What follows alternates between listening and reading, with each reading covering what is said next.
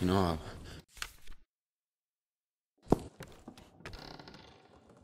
Shit. Ilya? Are you alive?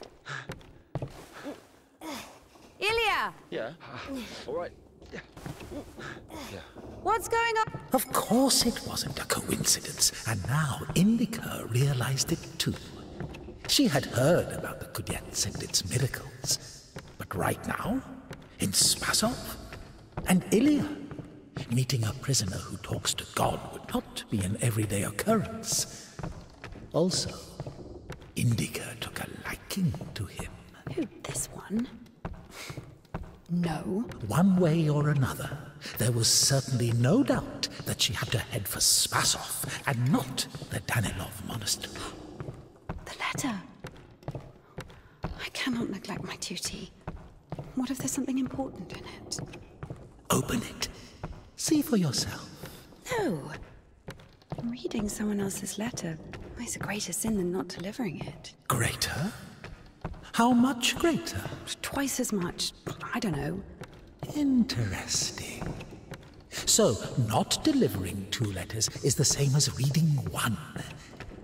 What about stealing? Pocketing a ruble, for example. Is that worse? Worse.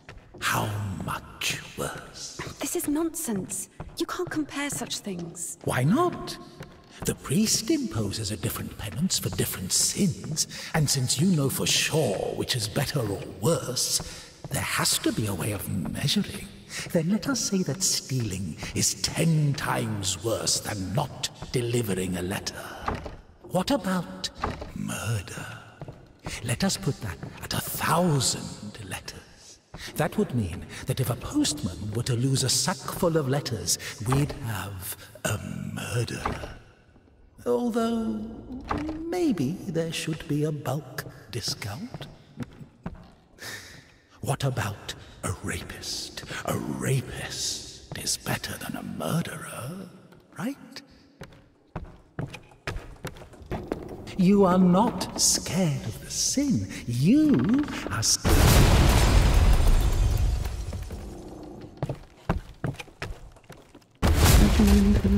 And was wounded, so help. don't even have anything to say.